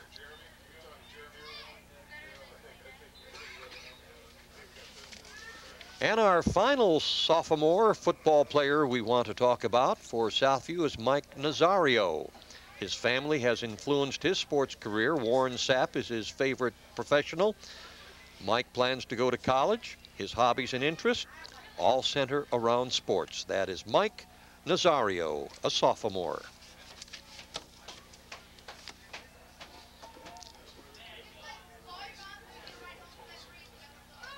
On the counter play, the give is to the fullback, Pat Watroba. Ron, he didn't hit the hole. They, they had a kick out block and everything. That a man in motion to come over. I think we used to call that a wham block, and the hole was there. He just didn't go there. Chose to be like uh, Mike Alstott and just run over people. Maybe that's why he has number 45 and the big collar. He kind of looks like Alstott, who would much rather run over people than run around them. A reminder that CiCi's Pizza Buffet on Friday night is open until midnight. So uh, if you're leaving a ball game some Friday night and you're hankering for some good food, head on over to CiCi's Pizza Buffet right there in the Sears Hardware Shopping Center on Cooper Foster Park Road across from the Amherst Plaza. On the punt by Southview, it'll be first and 10 for the Bulldogs. The ball on their own 29 yard line.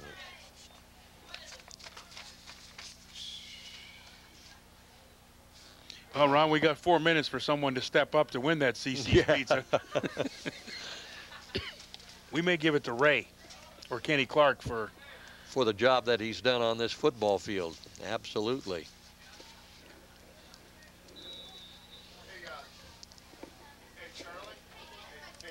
We will miss seeing one of the uh, better teams in the area. Mentor doesn't come here this year.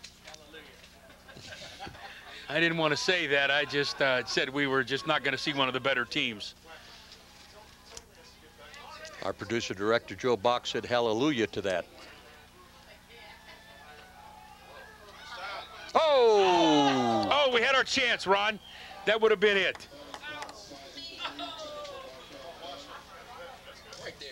Right through his hands. Marquell Miller.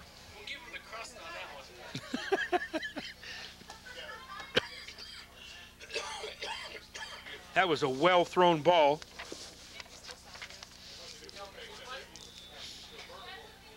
Need to get my head out of this cold and into this ball game. I think I did say it was going to be first and 10 for the Garfield Heights Bulldogs, and it's first and 10 for Southview. Yeah, you said the Southview band was playing too, and at halftime, and They did. they did. Yeah, That's they did. They did. They did that. You didn't say when. You said stay tuned for the Southview band. And they did. They played. Jeremy Coleman to pass again.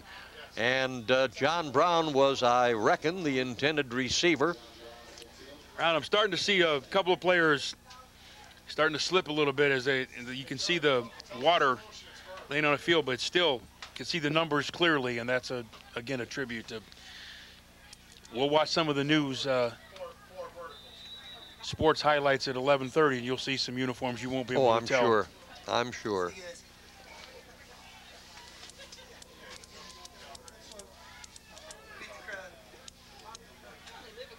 Third and 10 for the Saints.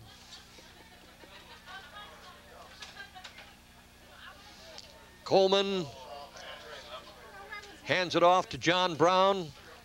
He just can't quite find the necessary room to pick up the first down, and that's going to bring up fourth for the Southview Saints. The ball will be on the 37-yard line. Ron, I, I can see Southview just going for it. There's no need to punt the ball now. Just, if you get the first down, maybe you can come up with a couple first downs and come out of something positive in this game. So I think that's what Tony's going to do is just uh, go for it.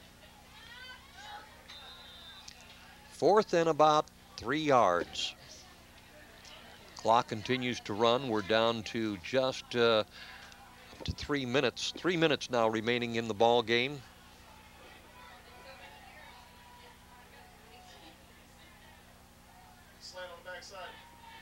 Coleman to pass. Beyond the grasp of Marquell Miller. So the Bulldogs will take over first and 10 in Southview territory.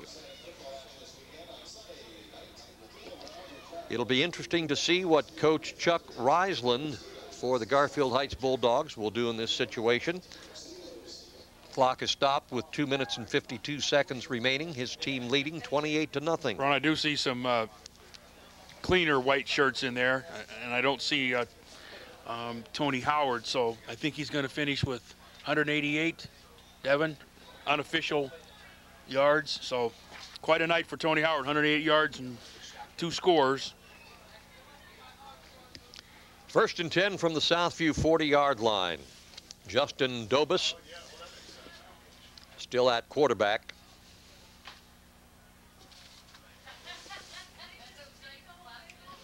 And the give is to Mike Kajansky. Kajansky gets a couple of yards on the play. I've got a number question for you, Barry, concerning the Ohio State Buckeyes. Uh, one of the freshman running backs, number five. What is Avon Lake's DeAndrea's number? Five. Now, College football allows you to have allowed to have college long, football allows you to have multiple as long as they're not yes. on the field at the same time. I would think they could even do that. I don't know that. I know they have multiple numbers. Because I think somebody had that, it might have been to Hal Lebovitz or something. There was a question in the paper. They said,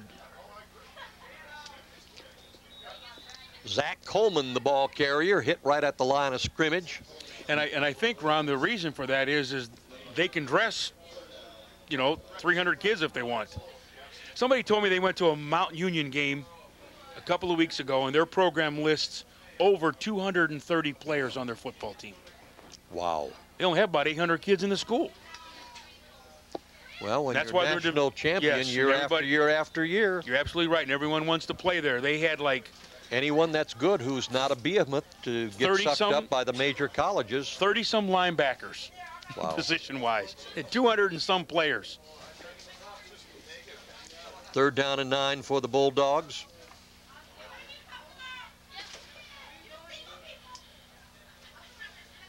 Pitch goes back to Kajansky. I think I read one the where 20, 35. he's lost one regular season game in the last 10 years at Mount Union. It's like 119 and one or something regular season. And very content to stay there. He doesn't seem like he's looking for a big college or he just year after year after year just cranks out the national championships, Division Three. I would imagine maybe some of the alumni are making him feel very welcome. Uh, that might well be. Ball is on the 34 yard line, fourth and four.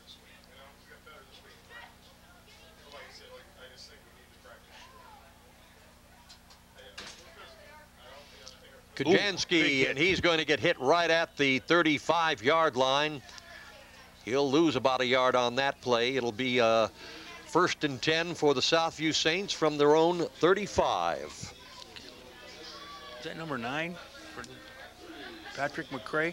I did read in the paper this morning, Ron, where there's a player for the University of Tennessee that contracted some viral um, infection, and he's in very, very critical condition. And the starting center is going to wear his number, give up his number to wear this uh, injured player's number, and all the players will have a, a patch or a decal on their helmets, number 64. Another fine gesture. 26 seconds remaining in the ball game. Jeremy Coleman looking to pass to the middle of the field. John Brown. John Brown across the 50 to the 49. It'll be first and 10 for Southview. Clock is stopped with 19 seconds. A reminder that the Lorain Admiral King Admirals will be playing Saturday afternoon. That's tomorrow, October 4th, against Shaker Heights.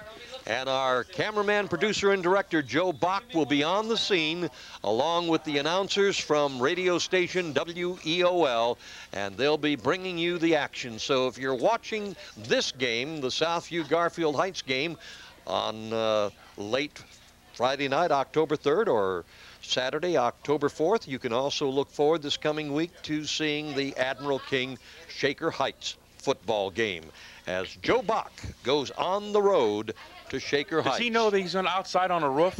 Because I think I heard those guys talking last year. Yeah, Yeah. I heard, yeah, I heard Alcorn and uh, Tomaszewski say they were out on a roof because they were talking about going to Shaker Heights. So you better take some. Uh, Well, Alcorn and Tomaszewski are not going to be there. Maybe that's why. You better They're- take some they're Visqueen sending the with you. sending in the B team. yeah, there you go. That might be a reason why, Joe. You better check on that. Our game next week, Friday, though, from George Daniel Field will be Admiral King going against the Euclid Panthers in a Lake Erie League Lake Division. Intercepted, pass intended for Marquell Miller. Intercepted by the Bulldogs. And uh, that just about wraps it up. Clock is stopped with six seconds remaining in the ball game. They'll bring out the chains. Set the down marker. I look for them just to take a knee and They'll take a knee, more than likely, and leave Lorain, Ohio with a 28 to nothing victory. Is this the first shutout against uh, the Southview Saints this season? yes. First time this season in week seven of high school football. The Saints have been shut out. Tony uh, Shoulders had uh, high hopes for this game. Yeah, I know he was. I talked to him earlier, and he was very high on this and looking forward to two games, and they just were beaten on all sides of the football tonight. All right, Barry and I will be back to wrap it up right after this timeout. CiCi's Pizza, all you can eat for only $3.99. CiCi's Buffet has 16 kinds of great tasting pizza, pasta, salad, and desserts, all you can eat for only $3.99. And CiCi's was voted number one for overall customer satisfaction. The Best buffet that you can find. Lunch and dinner anytime. Let's go to CiCi's Pizza.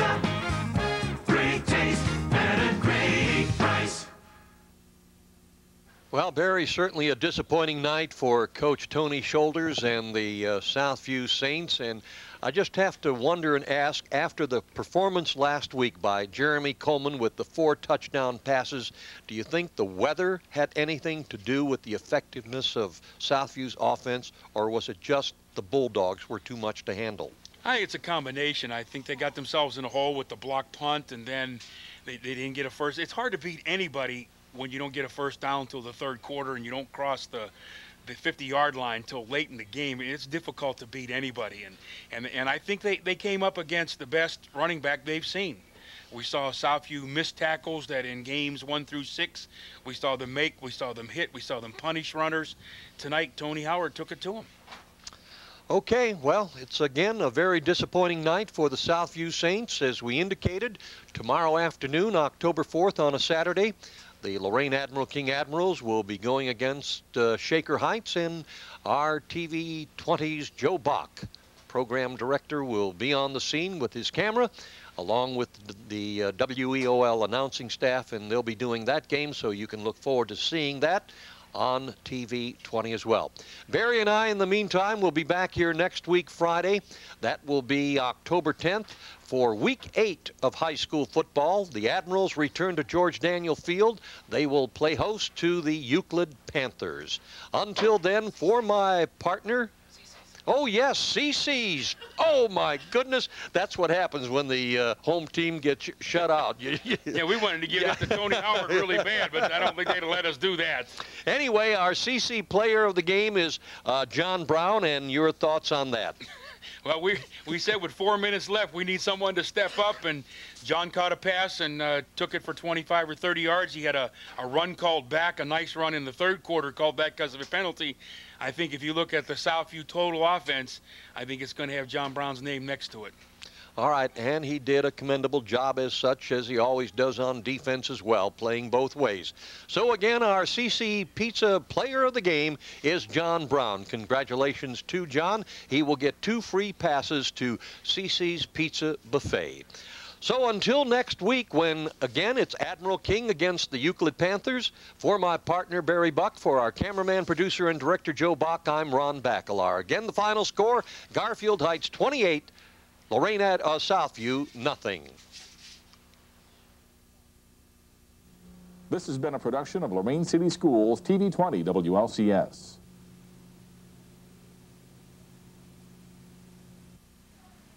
To purchase a high quality copy of the program you just viewed, please call Lorain City Schools Television at 282 8400.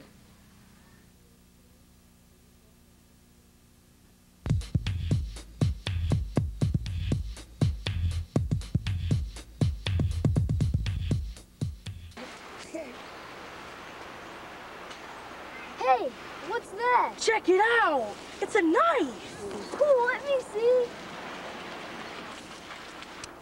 On guard! Watch it. You want to get expelled? Hand it back. Chill out. No one saw me. What do you plan on doing with it anyway? I'll turn it into the principal or some other responsible adult. Are you crazy? This is a nice knife. They'll only keep it. Haven't you heard of the school district zero tolerance policy? What does that mean? Zero tolerance for what? For weapons. Zero tolerance means that any student that brings a knife or gun on school property will be expelled from school for up to a whole year. Here, you take it. I can't afford to lose a year of school.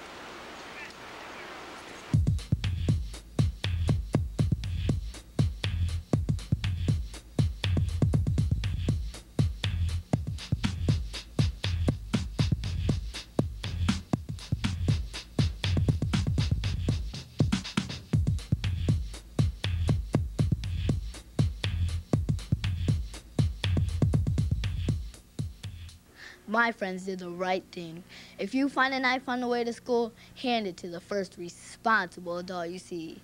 For your safety and the safety of others, don't bring a knife to school.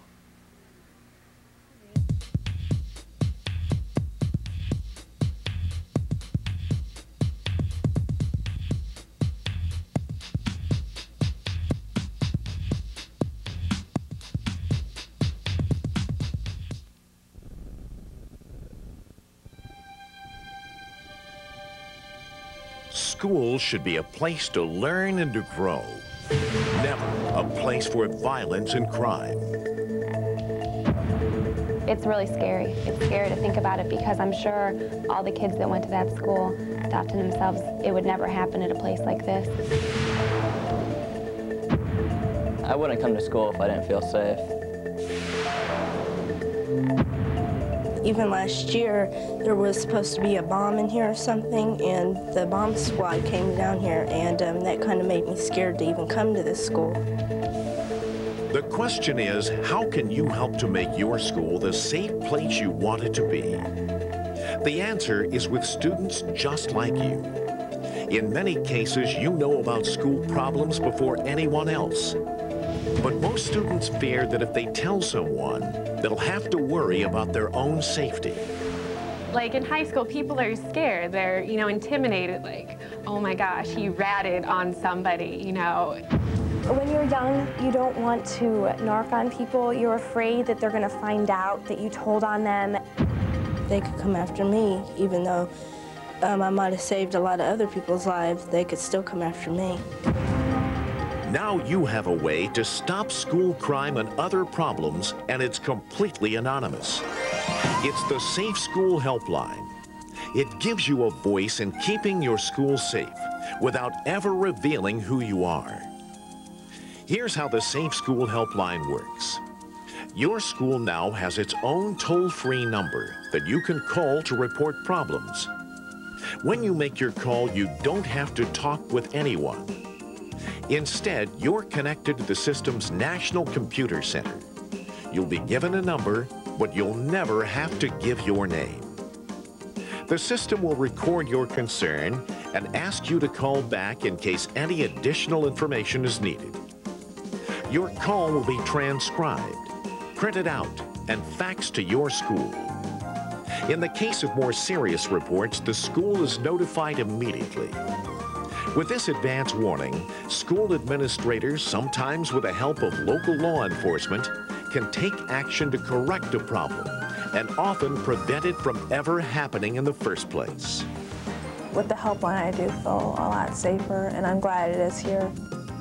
Before, when I heard about the hotline, I wouldn't do it because I was worried about my own safety. Like if that person found out that I, I told on him and he came back for me or something like that. But then now that I know how they don't say your name or anything, you don't have to say your name, I would, you know, I would call. The Safe School Helpline is not only for reporting violence, drugs, or criminal acts, but it's also a way to reach out to a friend who needs help. High school is such a difficult time, and when you can turn to turn and help your friend, but you don't want them knowing about it, I think you anonymity again helps you to gain confidence. It's actually you're helping that person. If you don't make that call, then you're actually, you know, you're condemning your friend, and it's not good at all. Because suicide is the second leading cause of death among teenagers, the helpline can now link callers directly to trained suicide prevention professionals. At any hour of the day or night, this nationally certified service will be there to help when the problems in a student's life become too great to handle alone. Your school is participating in the Safe School Helpline to create a safe learning environment. It gives you a voice in stopping problems, and it allows you to remain anonymous. 24 hours a day, seven days a week, the helpline will be there for you. Together, we can make school a safe place to learn. I don't know who thought of it, but I think it's a really good idea because it gives kids a sense of a sense of safety in school. It seems like you can't lose any call.